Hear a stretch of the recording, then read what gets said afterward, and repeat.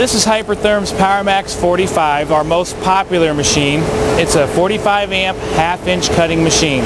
Uh, it's our most versatile and our easiest to use machine. Uh, basically, it's the smallest machine that you can get into for a mechanized application and as well as handheld.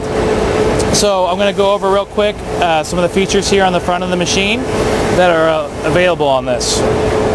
We have three different modes that you can use on the PowerMax 45. The top mode here is for expanded metal.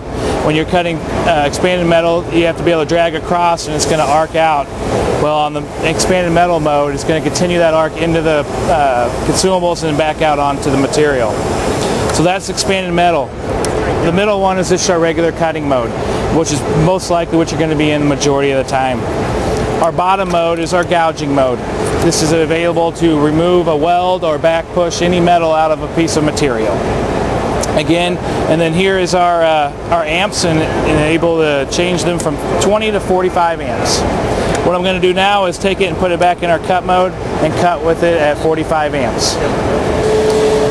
What we're doing here is using a, a template, another piece of steel for a straight guide. Uh, what I'm going to do here is using a drag shield, I'm going to put it right down on the material. I'm going to pull the trigger and just pull right across the material.